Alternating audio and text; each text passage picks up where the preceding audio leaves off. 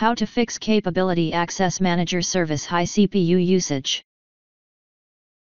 In this video I will show you few solution to fix the problem.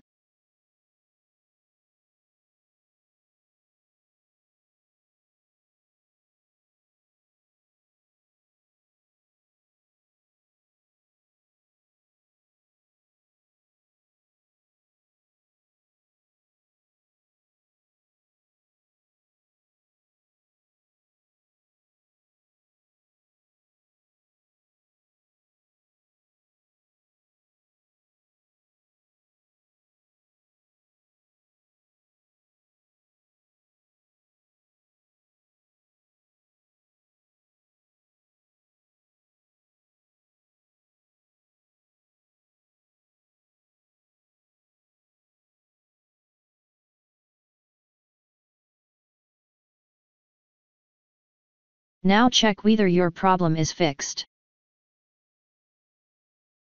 If that didn't work,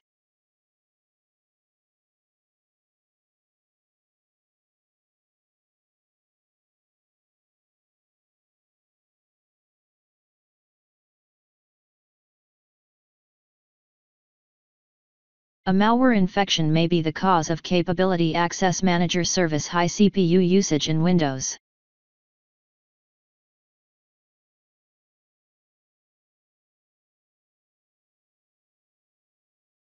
Use command prompt commands to repair system file corruption. Right-click command prompt and click on Run as administration. Copy and paste the command that you will find in the description of this video.